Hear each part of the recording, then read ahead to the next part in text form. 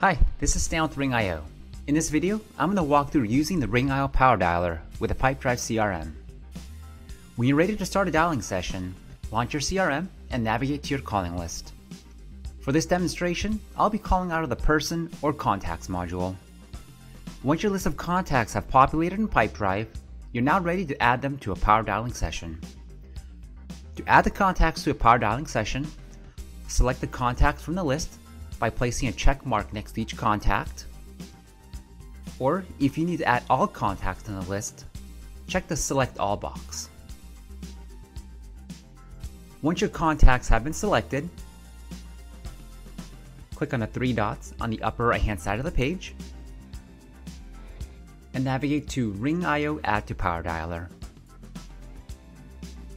The contacts selected will be added to a Ring.io Power Dialing session in a new tab. To start the dialing session, click Start Session.